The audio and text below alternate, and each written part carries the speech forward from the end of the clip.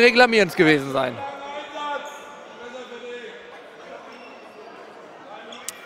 Tibor Hammer, Hamann. Äh, nun zurück im Tor, dafür geht äh, Patrick Peters raus und damit ist die Unterzahl der SG Banskoletz natürlich aufgelöst.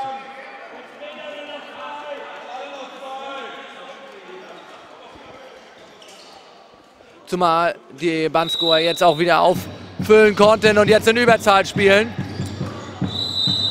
Lars Glütermann und da ist Stürmerfoul auf Stürmerfoul entschieden. Und der schnelle Angriff von Warnemünde abgebrochen. Und man ist man ist jetzt in Überzahl, aber man sagt, man spielt eher in Unterzahl besser als in Überzahl. Ist das auch deine Erfahrung? Teilweise habe ich das auch so gesehen, dass man in Unterzahl sei mal, besser spielt als 6 gegen 6.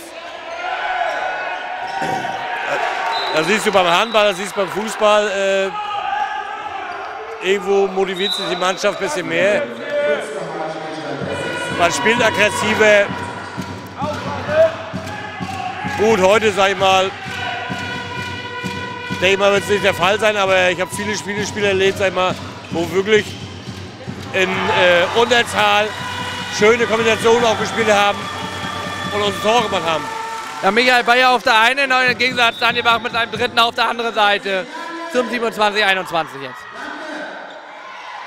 Das wäre natürlich die Initialzündung nochmal gewesen für Warnemünde, wenn die hier in Unterzahl äh, nochmal hätten rankommen können. Dann wäre es den letzten vier Minuten hier sehr, sehr spannend geworden. Aber so ist bei sechs Minuten, sechs Toren in vier Minuten und äh, dem gehaltene Ball von Christian Lange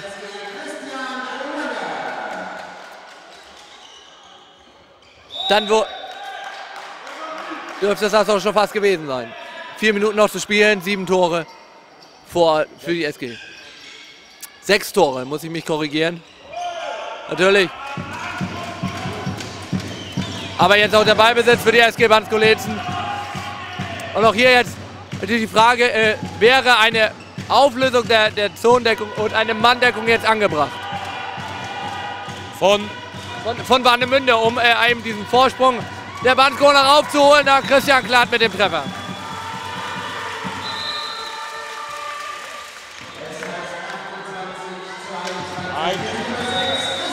Man hat ja gesehen, dass wir auch äh, äh, bei der 4 und 2 Deckung äh, auch unsere Tore gemacht haben. Äh, auch unsere Chancen gehabt haben, wo wir unsere Tore nicht gemacht haben. Ob es Henrik war oder äh, Marco oder Roberto wenn man diese sich in äh, hundertprozentigen äh, reinmacht, sag ich mal, äh, das habe ich ja erst gesagt. Warnemünde mit der 4 und 2 Deckung. Ich lasse auch mal einen Rückraumspieler werfen. Wenn sie offensiv stehen, sagen wir eine 3-2-1, wo sie bei 9 Meter dann denken. Hat man gesehen, hat es mehr gefruchtet als was, das, was sie jetzt gemacht haben in der zweiten Halbzeit. Ja, trotzdem ist es Bansko nicht gelungen, den Sack frühzeitig zuzumachen. Wo, Woran lag es aus deiner Sicht? Was mir, was mir jetzt in der zweiten Halbzeit ein bisschen fehlt, sind wirklich die Gegenstöße. Das, was wir in der ersten Halbzeit gesehen haben durch Henrik. Jetzt versuchen wir das äh, Ergebnis hier über die Runden zu bringen. Aber ich sage mir, äh, der Gegenstoß ist für mich ein einfaches Tor. Und man hat es gesehen, dass wir in der ersten Halbzeit mit Erfolg hatten. Warum die zweite Halbzeit nicht mehr umgesetzt wird, verstehe ich nicht.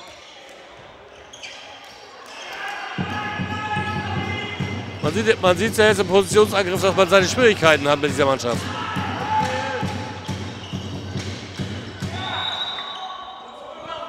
War an sich ein schön äh, gedachter Pass von Marco Ohm auf Mario Seider, aber im Kreis gestanden, abgepfiffen durch die Schiedsrichter.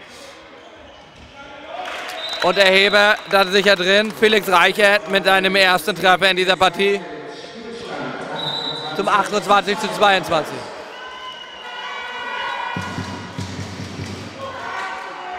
So, jetzt die letzten eineinhalb Minuten. Und Kapitän Klatt geht vom Feld. Und äh, Roberto Wolf geht nochmal in die zentrale Position an den Kreis.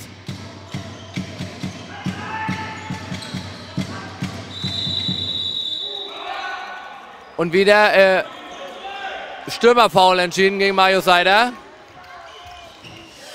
Und auch der Ball ist drin. Ich denke mal, dass er eben falsche Sperre von Roberto gepfiffen hat. 28, 23, eine Minute noch zu spielen, 5 vor. Es war keine Glanzvorstellung äh, der SG Baskolesen, wie wir in den letzten Spielen gesehen haben.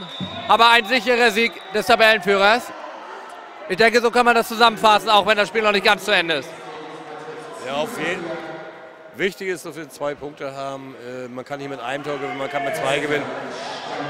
Wir haben gewonnen und äh, sei, sei mal in, in, dieser Höhe, sag ich mal, nach der ersten Halbzeit oder auch Anfang der zweiten Halbzeit, muss ich sagen, äh, sind wir ein bisschen eingebrochen.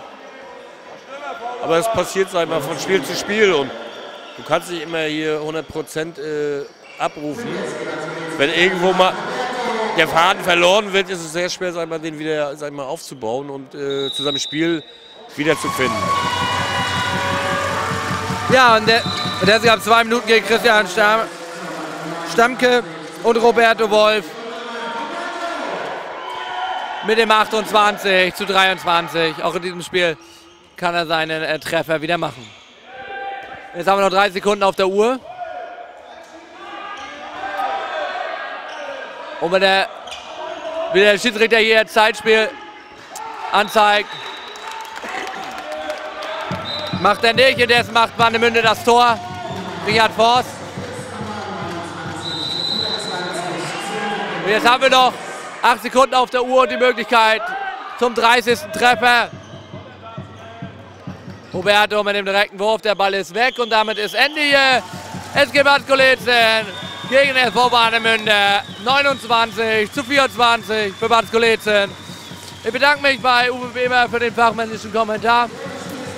29, 24 endet das MV-Ligaspiel der SG Banskolezen gegen die SV Warnemünde. Bei mir habe ich nun äh, beide Trainer. Äh, schön, äh, wir wenden mich auch gleich an den Gästetrainer, dass sie äh, sich zur Verfügung stellen nach diesem Spiel. Es, äh, in der zweiten Halbzeit ist es deutlich besser gelaufen. Trotzdem hat es nicht äh, ganz gereicht, um nochmal ganz ranzukommen. War die Hypothek aus der ersten Hälfte zu groß? Mm, nicht unbedingt, nein. Wir haben das Spiel eindeutig im Angriff verloren. Ich wir haben mehrere Phasen gehabt. Die ersten zehn Minuten, glaube ich, gleich minus fünf oder sechs. Äh, kommen dann wieder ran auf zwei, um dann die letzten zehn Minuten wieder wegzuschenken. Dann es wieder fünf. Äh, wir sind dann nie richtig rangekommen im Endeffekt. Also, äh, wohl die Chance definitiv da war. Also Bansko war jetzt nicht, nicht so stark, dass wir hier hätten verlieren müssen. Ja, äh, Böhr, Glückwunsch, äh, fünfter Sieg in Folge. Ähm, und trotzdem hat man einige unzufriedene Minen gesehen. Es lief nicht ganz so rund, wie du es dir vorgestellt hast. Ja, das kann man, das kann man durchaus so sagen. Da gebe ich dem Kollegen auch recht. Also äh, das hätte auch durchaus anders ausgehen können. Ähm, das sieht man allein schon. Ich will das jetzt nicht am Angriff festmachen, aber wenn wir im Schnitt die letzten Spiele 36, 37 Tore werfen und heute mit 29 aus der Halle gehen, ähm, das zeigt schon, dass da ein bisschen Qualität gefehlt hat. Sicherlich dem geschuldet, dass die Warnemünder doch sehr offensiv gedeckt haben gegen unsere beiden Halben. Ähm, aber da erwarte ich einfach von den Jungs, die da auf der Platte stehen, dass sie 4 gegen 4 wirklich den Platz und die Lücken auch nutzen. Und das äh, haben sie definitiv heute nicht gemacht. Ja, äh, sagtest es äh, bereits, äh, das Spiel im Angriff verloren. Was, was, hat den Jungs da gefehlt? Die Cleverness, ähm, die Einsatzbereitschaft, was fehlte? Nein, Einsatzbereitschaft nicht. Die haben einfach keine Hand gehabt heute. Weiß ich nicht, keine Ahnung. Es waren, glaube ich, schon in der ersten Halbzeit 20 technische Regelfehler. Äh, dann ist schwer, ist egal, ob gegen Banske oder Stavenhagen oder wen auch immer. Es ist, ist weiß ich nicht, die waren nicht auf der Platte, gar nicht, erste Halbzeit. Einsatzbereitschaft war da, auch die zweite Halbzeit, aber es waren einfach so einfach eklatante Fehler und da kannst du kein Spiel gewinnen, sorry. Also, und es war heute machbar, wie Bürger schon sagte, ja. Mhm. Ja, aber auch bei äh, Bansko hat ein bisschen das Wurfglück gefehlt. Ich habe mehrere klare, hundertprozentige, äh, die der Wannemünder Torwart rausgezogen äh, hat. Sonst hätte man sich schon frühzeitig hier auf ein ruhiges Spiel einstellen können. So blieb es fast bis zum Ende richtig spannend. Ja, gut, das war jetzt auch kein schlechter Torwart, muss man dazu sagen. Obwohl, ich habe es in der Halbzeit gesagt, ähm, irgendwann muss man auch mal ein Bild vom Torwart sehen. Und ähm, wenn man sieht, äh, wir machen das in Handballsprache, wenn er den Hampelmann immer nach unten macht, dann heißt in meiner Fantasie, dass oben immer alles frei ist. Und wenn man dann immer noch versucht, unten zu werfen äh, und das permanent und auch frei im Gegenstoß, äh, dann regt mich das natürlich sehr auf, weil äh, sicherlich hätte man den einen oder anderen da auch noch machen können. Ja, du hattest äh, Verletzungs-, ne, krankheitsbedingt äh, Marco äh, oben ein bisschen auf der Seite geschwunden. Wie, wie sehr hat das gefehlt heute, die äh, Bälle von der Linkshand? Ja gut, okay, dahinter soll man sich ja nicht verstecken. Wir haben mal einen breiten Kader, aber sicherlich Öhmchen ähm, war jetzt die Saison wirklich sehr stark und er hat gestern schon arg gekränkelt und heute fand ich gut, dass er sich zur Verfügung gestellt hat, aber da fehlte natürlich die Power. Guido ist noch relativ kurzfristig mit seiner Schulter ausgefallen vor dem Spiel, äh, sodass der Kader doch recht dünn heute war. Aber nichtsdestotrotz, die anderen Jungs können auch alle Handball spielen und ähm, von daher ja, würde ich nicht sagen, dass da was gefehlt hat. Also der, der da spielt, der sollte das auch eins zu eins ersetzen können.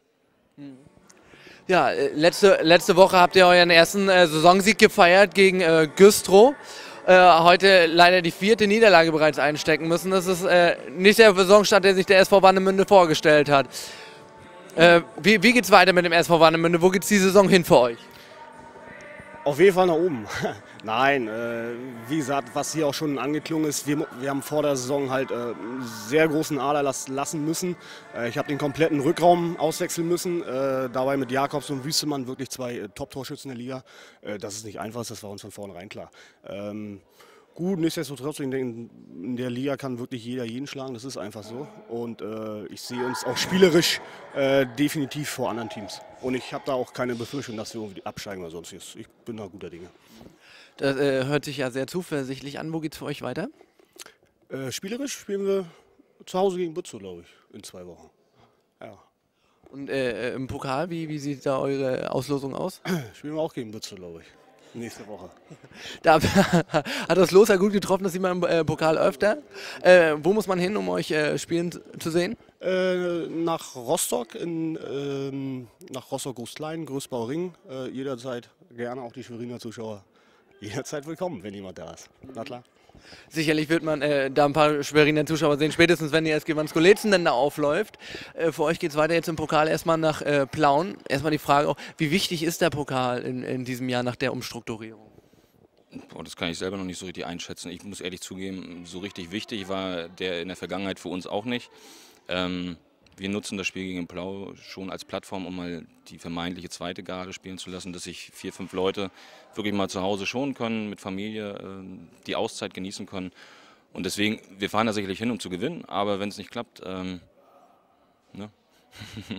Danach geht es dann weiter für euch das äh, wichtige Auswärtsspiel in äh, Ribnitz. Ribnitz, äh, du sprachst gerade an, du musstest deinen Rückraum abgeben, der ist nach äh, Ribnitz gewandert. Also spielst du quasi gegen die Mannschaft von wichtige Rückraum von letzten Jahr gegen Warnemünde und da haben wir schlecht ausgesehen äh, von der SG Banskolezen. Ähm, wie geht ihr an dieses Spiel ran? Ihr habt jetzt eine große Aktion, viele Leute mit. Äh, wie viel hilft das dann am Ende? Ja, wäre natürlich klasse, wenn, wenn möglichst viele Zuschauer, äh, Fans äh, mit in den Bus kommen, weil ne, wir genießen das ja auch immer bei Heimspielen, wenn die Leute hinter uns stehen, uns nach vorne preschen. Und ähm, ich kenne Ribnitz jetzt zwar nicht, äh, ich habe aber gehört, die Halle ist da auch mal gut besucht, da ist, ist wohl eine gute Stimmung auch. Und von daher können wir sicherlich jeden gebrauchen, der da ist. Und äh, ne, du hast es schon angesprochen, Jakobsen und Wustemann. Das sind eigentlich die beiden, die ich so aus Warnemünde kenne. Äh, und von daher äh, kann ich die Mannschaft noch nicht so richtig einschätzen. Ich weiß aber, dass sie dann wohl sehr rückraumlastig sein werden. Und da versuchen wir uns natürlich darauf einzustellen. Ja gut, dann äh, wünschen wir euch äh, viel Glück, natürlich in Ribnitz und auch im Pokal. Das gleiche gilt natürlich für den SV Warnemünde und äh, vielleicht sieht man sich demnächst einmal wieder, ähm, wenn es heißt äh, Warnemünde gegen die SG Banskolezen und wir sehen uns wieder bei der nächsten Sendung von Sport in Schwerin.